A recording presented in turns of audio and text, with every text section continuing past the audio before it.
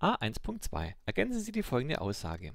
Claudia nimmt an, dass der Wert ihrer Aktien jährlich um, unbekannt, Prozent zunimmt. Dafür brauchen wir die Funktionsgleichung. Die finden wir ganz oben nochmal, hier die gelbe. Ähm, und überlegen uns, was sind das für Zahlen hier drin. Diese 2000, hier die entsprechend dem Anfangswert. Ja, steht ja auch hier, sie kauft sich 2000 Euro an Aktien. Das x entspricht der Laufzeit, also wie viele Jahre sind vergangen. Also bleibt für die Pro äh, gesuchte Prozentzahl eigentlich nur noch die 1,07 übrig. Und hier muss man sich einfach nur folgendes merken.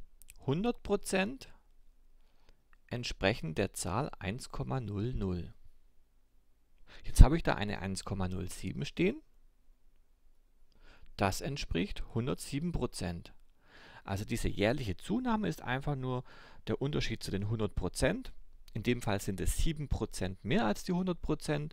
Wenn es zum Beispiel 0,94, dann wären es 6% weniger, also wird es um 6% abnehmen. Aber hier sehen wir, es sind 7% mehr als die 100%, folglich nimmt es jährlich um 7% zu. Und damit ist die Aufgabe auch schon fertig.